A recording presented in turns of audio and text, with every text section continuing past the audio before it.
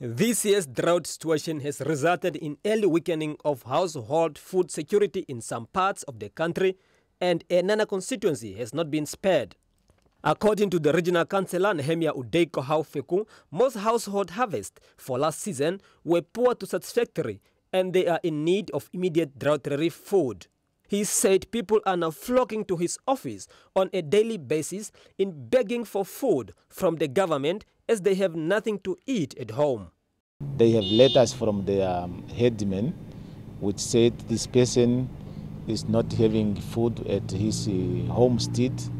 Therefore, these families need a, a, a help from the, the, your office. But unfortunately, up to here, we don't receive anything.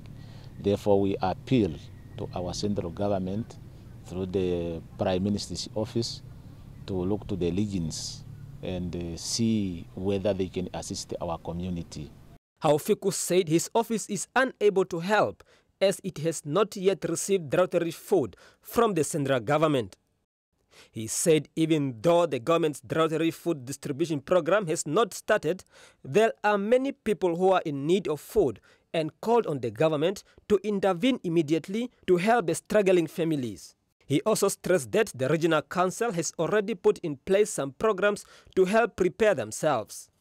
We already prepare. Last week, I was having a, a meeting with the headmen just to prepare to put up the committee in the villages, and um, we also having we also done a simple legislation for our people. We know currently how many people are affected by the drought who are really in the need of the food.